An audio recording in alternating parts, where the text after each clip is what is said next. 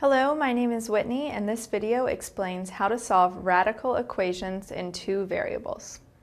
So a radical equation is simply an equation that contains a radical sign over one of the terms.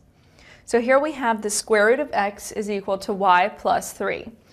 And the first step in solving this equation is to get rid of the radical.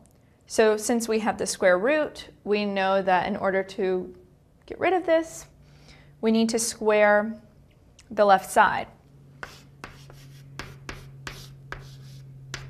But what we do to one side, we have to do to the other.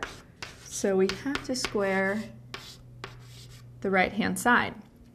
The square root of x squared is just going to give us x, and then we're left to FOIL the right-hand side, where we do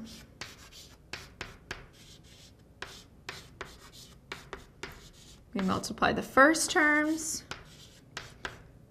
times the outer term and add the inner term and then the last.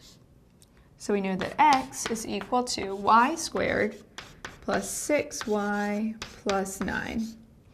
Now, this is the furthest that we can get this equation at this time.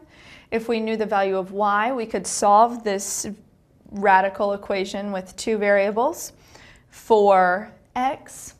Um, but at this time, like I said, this is the simplest form of the radical equation in two variables. Thanks for watching.